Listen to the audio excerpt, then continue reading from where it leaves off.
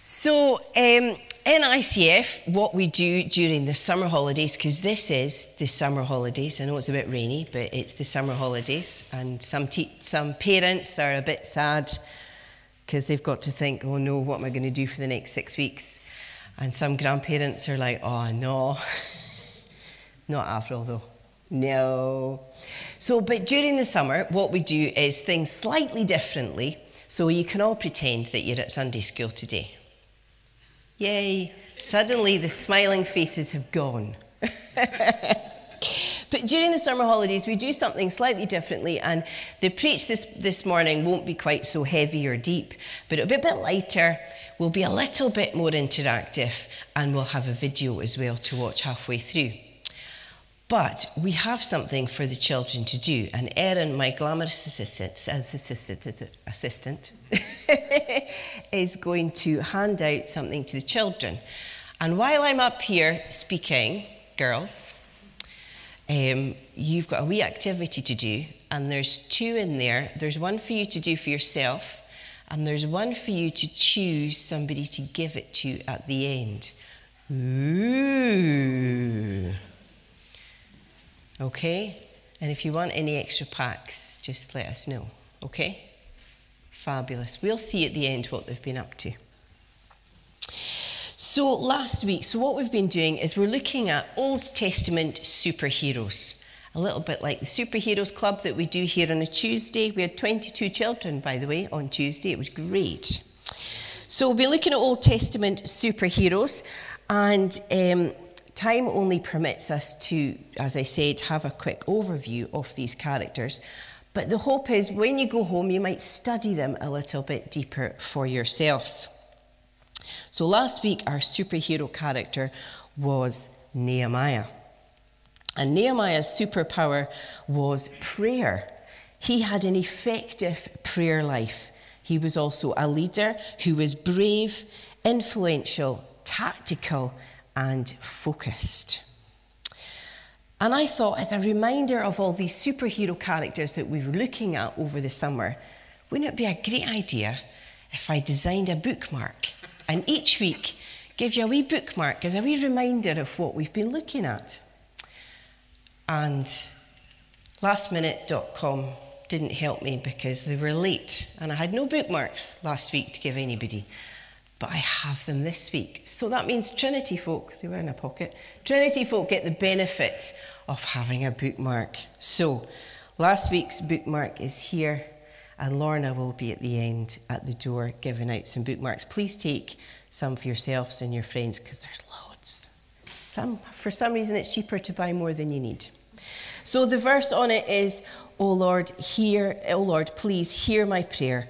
Listen to the prayers of those who delight in honouring you, please grant me success today by making the King favourable to me, put into his heart to be kind to me. So that's the bookmark for today, for, from last week. So, and that's taken, of course, from Nehemiah chapter 1, part of his prayer. But this week, no prizes for guessing what superhero we're looking at today. We heard it read, didn't we, from Marina? We're looking at Ruth today. And that we can read all about Ruth in the Bible, in the book called Ruth. Ruth. Well done. You're listening. It's fabulous.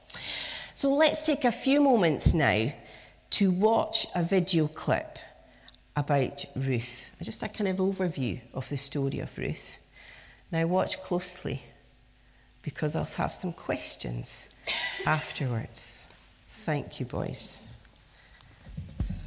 God's story, Ruth. So, part of God's story is about a woman named Ruth, and it begins like this Ruth lived in a place called Moab and was married to a guy who was part of God's special family, the Israelites. A few years later, though, Ruth's husband died. Instead of returning to her family, which would have been expected, she stayed with Naomi, her husband's mom. Naomi tried to get Ruth to go back to her family in Moab, but Ruth wouldn't leave Naomi, no matter what. In fact, she wanted to go back to Israel with her. Ruth said, Your people will be my people, and your God will be my God. So they both returned to Naomi's home in Bethlehem. Back then, though, it was hard for women to find work. Usually, they had to be taken care of by their husband or a dad. It's really hard to imagine that now, but Naomi and Ruth might not have even known how they'd survive. At first, to get food, Ruth went to the fields of a man named Boaz and followed his harvesters around. If they dropped anything, even just a piece of grain, she picked it up. This was called gleaning.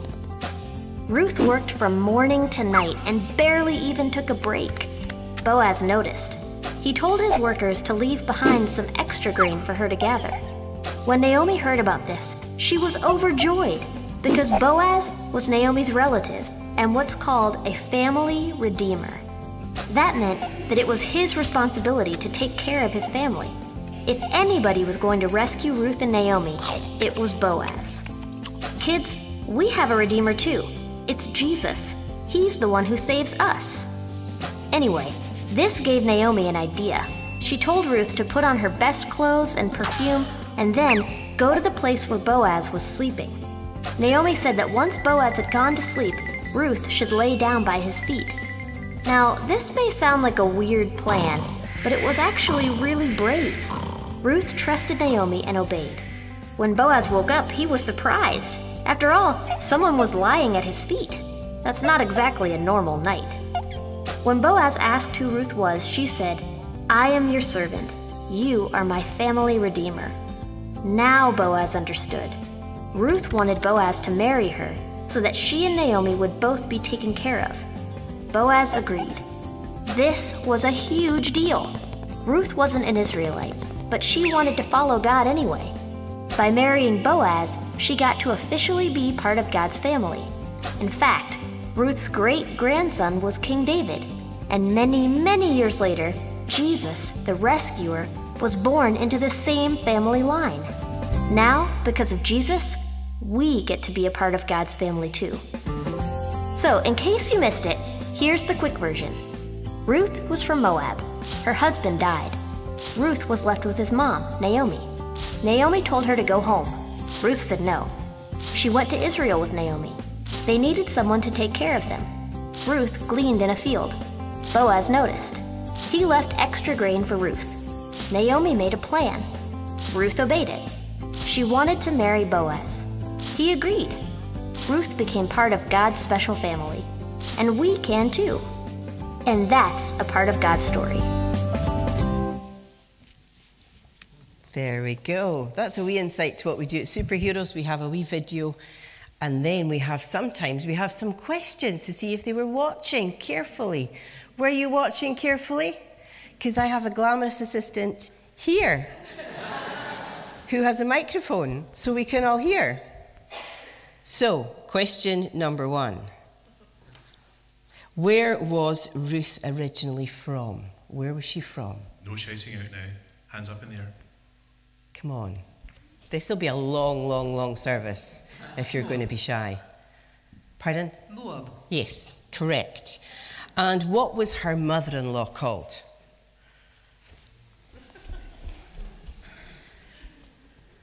Naomi. Naomi. And where did Israel, where did, where did Naomi want to go back to? where, where did she want to go back to? Come on, I have, I'm going to give you the answer. Israel. That's right. And what was the name of the job that Ruth did when they arrived in Israel? Someone up the back. Is there any Trinity folk listening? Gleaning. There we go. Well done. Thank you. What was the name of the man who was in the field, whose field she was working in? Oh, a child. Brilliant. Boaz. Well done. Now, what was Boaz's position in the family? That was kind of, I gave you a clue with the last word I just said. Oh, Family redeemer. there we go. Who is our Redeemer? We should all shout that one out. Yeah, we should all know this one. Jesus. Yay. Now, who was Ruth's great grandson? Don't ask the family historian. Yay. King David. Yay, well done. Give yourselves a gold star. Rob, you can sit down now. Thank you very much. So let's take a few moments now to look at some of Ruth's story and how that we can relate to the story and take some lessons from it for ourselves. Now Ruth was an ordinary woman. Anybody ordinary here? I am, I think. She faced ordinary challenges. She faced death, moving to a foreign land. That's not really ordinary, but she faced moving to a foreign land. Lack of finances, family responsibilities, and challenges. Some of these things we've faced. We might have faced all of them. We might have faced many more. What made Ruth stand out was when she faced these ordinary challenges, her life was shaped by faith. She was guided by God. Remember her, her plea to Naomi Your God will be my God.